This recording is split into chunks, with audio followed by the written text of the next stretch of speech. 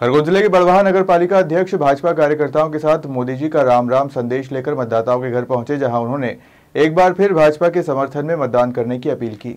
खरगोन ज़िले के बड़वाह में नगर पालिका अध्यक्ष राकेश गुप्ता के नेतृत्व में शहर के सभी 18 वार्डों में जनसंपर्क अभियान शुरू कर दिया है। नगर पालिका अध्यक्ष, भाजपा कार्यकर्ताओं के साथ पीएम मोदी का राम राम का संदेश लेकर मतदाताओं के घर पहुँचे, जहाँ उन्होंने प्रदेश और देश की भाजपा सरकार की जनहितैषी योजनाओं की जानकारी दी। साथ ही तेरह मई को भाजपा प्रत्याशी ज्ञानेश्वर पाटिल के समर्थन में मतदान कर भाजपा को विजयी बनाने की अपील की। नगर पालिका अध्यक्ष ने कहा कि जिस तरह से भाजपा के समर्थन में माहौल है, उससे साफ़ लगता है कि कांग्रेस मुकाबले में नहीं है। इस दौरान नगर पालिका अध्यक्ष के साथ भाजपा जिला महामंत्री महिम ठाकुर सहित क्षेत्रीय पार्षद मौजूद रहे। मोदी जी के इस चुनावी समर में जो पूरे देश की दशा करने वाला, आने वाले समय में और केंद्र सरकार का ही नहीं, बल्कि पूरे भारत का एक ऐसा महत्वपूर्ण चुनाव है, जिसमें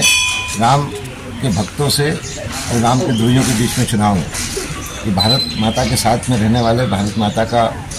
वैभव बढ़ाने वालों का, भारत माता को करने वालों का चुनाव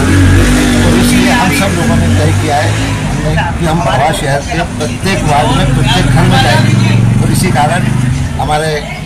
ज़िले के महामंत्री जी, हमारे पूर्व मंडल अध्यक्ष, हमारे वर्तमान मंडल अध्यक्ष पूर्व उपाध्यक्ष सभी लोगों के साथ में मिलकर पूरे बड़गाड़ के भारतीय जनता पार्टी के प्रमुख लोगों के साथ में मिलकर हमने ये अभियान चालू कराए इसमें जो है कि प्रदेश सरकार और केंद्र सरकार के कामों का आकलन तो हो ही रहा है। साथ में हमने अपने शहर में जो पिछले साल डेढ़ साल में किया है उसके लिए भी हम जनता से फीडबैक लेने जा रहे हैं और इसी के माध्यम से मोदी जी के लिए मोदी जी के राम राम करने मोदी जी के लिए आशीर्वाद मांगने मोदी जी के लिए वोट मांगने जा रहे हैं। और जिस तरह से आप लोग देख रहे हैं कि एक नंबर वार्ड से शुरू होकर आज हम वार्ड नंबर तेरह में खड़े हैं लेकिन हर वार्ड में, हर घर में मोदी जी के लिए जैसे लोग पहले से मन बना के बैठे हैं, लोग मोदी जी के लिए सरकार बनाने के लिए दृढ़ संकल्पित दिख रहे हैं। साथ ही जो प्रदेश की सरकार, हमारे मुख्यमंत्री जी, उनके सब काम और हमारी लोकल सरकार, सबके लिए एक अच्छा फीडबैक जनता की तरफ़ से आ रहा है और जनता जिस तरह से मूड में दिख रही है, हमको ऐसा लग रहा है कि कांग्रेस कहीं मुकाबले में नहीं है और बढ़वा में आने वाले समय में न केवल शत प्रतिशत मतदान का हमारा प्रयास है, बल्कि अभी तक की सारे चुनाव में बड़वा शहर की तरफ़ से सबसे बड़ी लीड देने की हमारी तैयारी है।